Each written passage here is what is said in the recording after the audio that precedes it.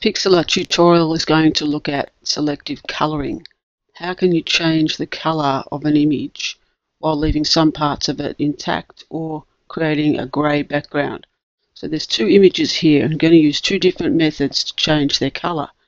The one on the left, the eggs in the carton, I'd like to change the colour of the egg in the foreground to a different colour using only hue and saturation whereas the one on the right like to make that totally grey except leave the pepper in the middle in its original colour.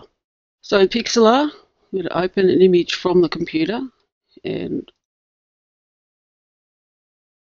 start with the eggs in the carton. And in this image, I'm going to use the lasso tool to select the egg and then use hue and saturation to change the colour. So first thing you need to do is select the lasso tool, polygonal lasso tool, which is a little bit more accurate than trying to use the free lasso tool. So in order to select this egg, now I could, if I, if I found it difficult to see, could use the navigator to make that bigger. But in this case, it's going to make that a little bit harder to select it. So we'll make it its normal size. You can only do little stroke. So once it starts to curve, click it to anchor it and then keep going until and uh, clicking every time it seems to curve till I can select the whole thing. Trying to be as accurate as I can.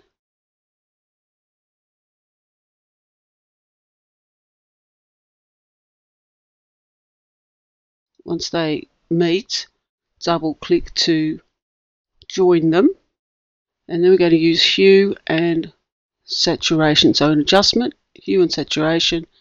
And I'm going to move the hue slider up and down till I get a color that I like. So I can go it's going along the the color wheel. So you haven't got you know all sorts of colors you can choose from.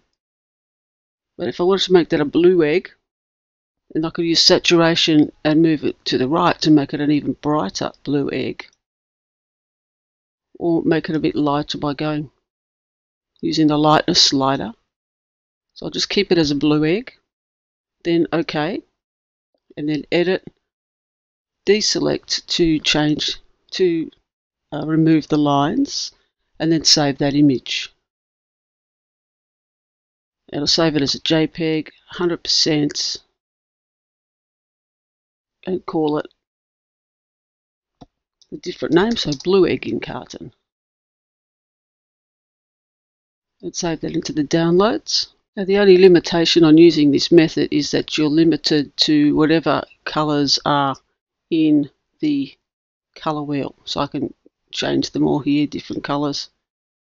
Doing it this way I can change the colours on all the eggs. So depending on the colour, original colour, but if you only wanted to do the one, you have to select that part of the object first.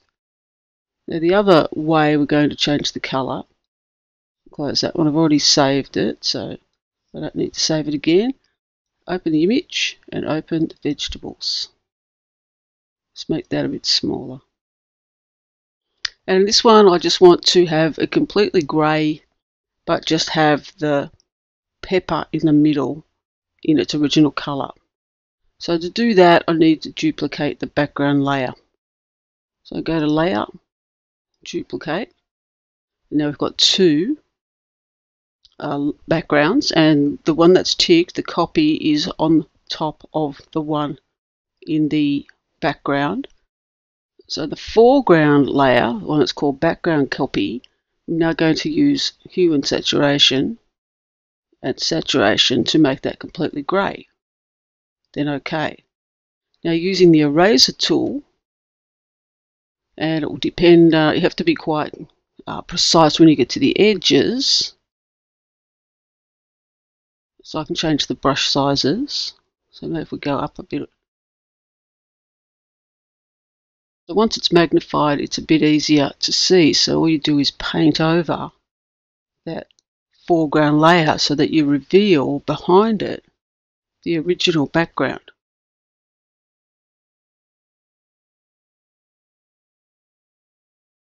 And as it gets closer to the edge, change the brush so it don't go over the edge.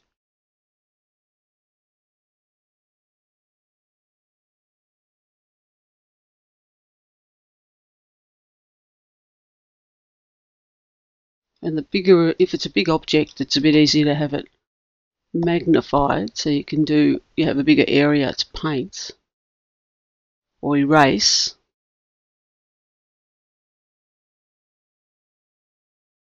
As you reduce the magnification, it gets a bit easier to do the edges without going over them too much.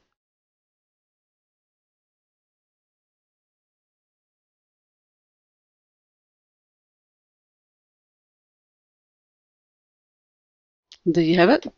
Selective colouring. We've got the one object that has retained its colour and the rest seemingly is grayscale and that's been done simply with layers. Then I'll save that image to the computer as a JPEG.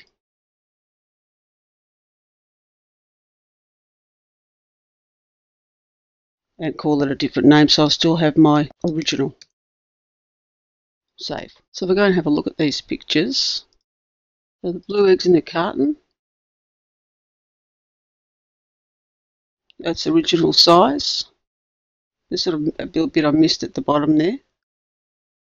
So you have to be pretty precise in your selection when using the lasso tool and the coloured vegetables. It's its original size. And that one could look quite effective.